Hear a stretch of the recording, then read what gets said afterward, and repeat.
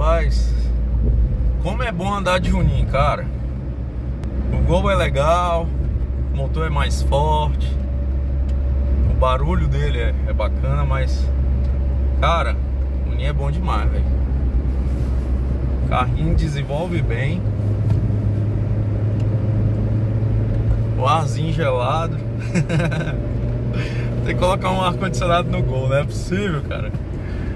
Mas não é nem a questão do ar, mas assim, o Uni, eu acho ele mais ágil do que o Gol. não sei se é o cuidado que eu tenho com o Gol, de estar andando com ele no trânsito.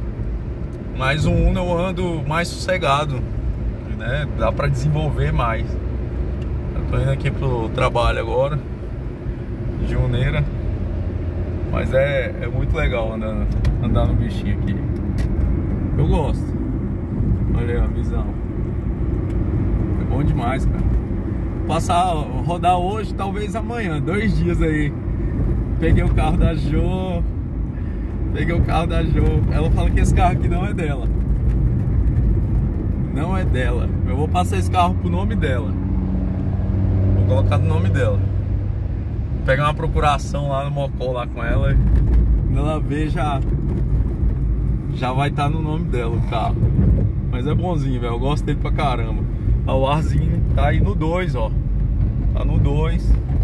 Vai até a velocidade 4 e o carrinho aqui dentro tá geladinho, top demais. E desenvolvendo, de boa. 60, 80. Vai embora, vai embora. Aí.